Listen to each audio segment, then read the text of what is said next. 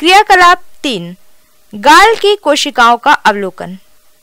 यह क्रियाकलाप शिक्षक की उपस्थिति में ही करें। गाल के अंदर की सतह को आइसक्रीम के चम्मच से खुरचकर स्लाइड पर फैलाएँ। ध्यान रहे कि गाल को कठोरता से न खुरचें।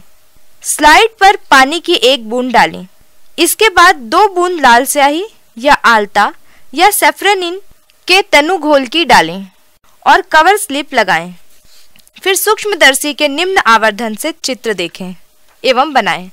गाल की कोशिकाओं एवं पत्ती की कोशिकाओं में क्या क्या समानताएँ हैं गाल की कोशिकाओं एवं पत्ती की कोशिकाओं में कोई एक भिन्नता लिखें कोशिकाएँ देखने के लिए हमें अक्सर सूक्ष्मदर्शी की मदद लेनी पड़ती है मगर नींबू संतरा जैसे फलों में रस भरा एक छोटा भाग मछली और मुर्गी के अनिषेचित अंडे इत्यादि कोशिकाएँ हैं, जिन्हें हम बिना सूक्ष्मदर्शी से भी देख सकते हैं। यहाँ तरह तरह की कोशिकाओं को चित्रानुसार दर्शाया गया है। इन कोशिकाओं में आपको किस किस प्रकार के अंतर दिखाई दिए?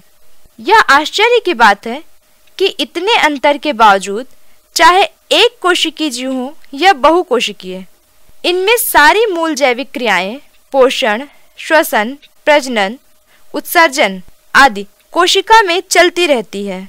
बहुकोशिकीय जीवों में अलग अलग कोशिकाएँ या कोशिकाओं के समूह आपसी समन्वय से जैविक क्रियाओं को संपन्न करते हैं।